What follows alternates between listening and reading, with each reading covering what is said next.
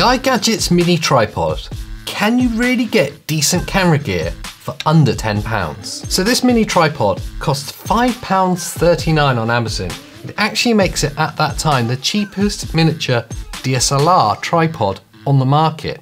It's quoted as a two-in-one design, and that's because it will convert from this tripod design into a handheld pistol grip. It has a quarter inch thread on the top for mounting your DSLR or mirrorless camera, and this mounting plate fully articulates through 90 degrees. That's to help enable you to go from a tripod stand to that pistol grip. It has a quoted maximum load of five kilos, which I find hard to believe. I think they might have overestimated there slightly as it is an entirely plastic design. I would say, in all likelihood, your maximum load is going to be no more than two kilos on this miniature tripod. So with that, let's look at the good bits of the iGadgets miniature tripod.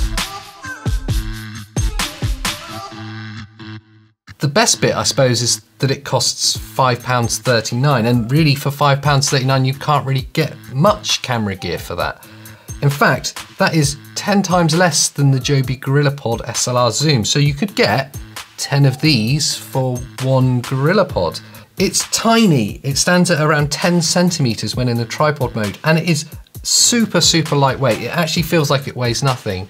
So in many ways, that's a great feature because it will be the kind of accessory that you'll happily carry with you, perhaps even on your belt, in your pocket, in the bag. It's the kind of thing that you'll chuck into your camera gear and forget that you've got and inevitably then get to use. The best feature is probably the pistol grip that it folds into. It then becomes a handheld mount, and in reality it feels quite sturdy and durable in that manner, I guess because your hand is so close to the camera. I think truth be told, it's less of a camera mount, this little miniature tripod, and more of an accessory mount. When you consider that it is an all plastic design, it's not going to be able to hold a great deal of weight, but perhaps you could mount your mobile phone onto it a GoPro, or even a miniature LED light. And at that point you think that this is actually quite a useful little accessory. So with that, let's look at the bad bits of the iGadgets miniature tripod.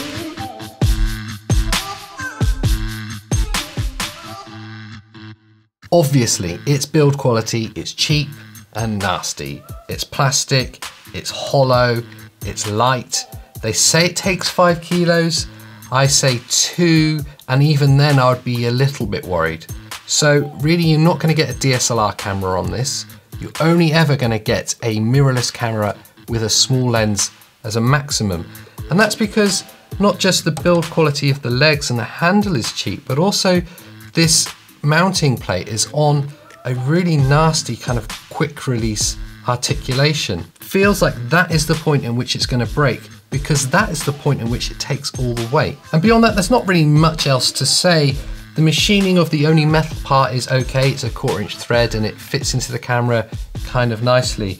It's just generally a very, very cheap, cheap bit of plastic.